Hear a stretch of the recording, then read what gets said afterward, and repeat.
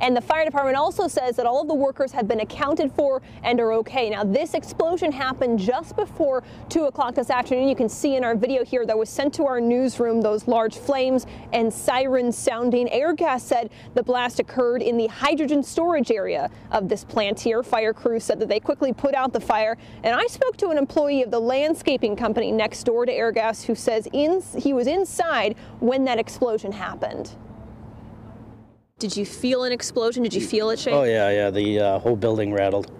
Okay, tell me about that. Um, just uh, in the office and uh, um, just heard the uh, boom. Uh, at first thought, I thought you know almost sounded like a vehicle coming through the building or something, and uh, but obviously kind of figured, you know, gathered my thoughts, and it was uh, something around us that happened, and so I came out and saw the big plume of uh, us, uh, fire, and uh, shortly after that, it was self-extinguished. Uh, you could see the white smoke even before the first responders got here.